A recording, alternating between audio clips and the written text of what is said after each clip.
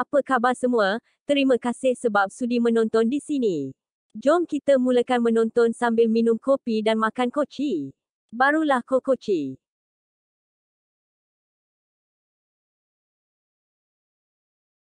kasih sebab sudi menonton di Kokoci TV Channel. Semoga yang memberi sokongan kepada kami, kami doakan semua mendapat rezeki yang melimpah ruah. Jangan lupa jika nak sebarang bekerjasama, ada email kami di bawah tu.